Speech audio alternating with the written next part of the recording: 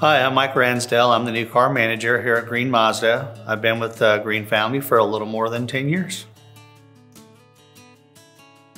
When I'm not here, I'm with my um, teenage daughter, 18 years old, just turned 18, and she is getting ready to go to college. So we're going through that process and preparing her to enter out into the real world as an adult.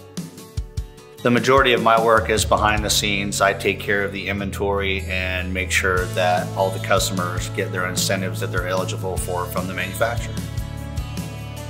I think more than anything else, I really enjoy being part of the process and getting to know all the people that are either coming back to the Mazda family because they've been with us for so long, or even more so, meeting people that are coming to Mazda for the first time and getting excited about the brand and everything that we have to offer as a dealership and Mazda has to offer as a manufacturer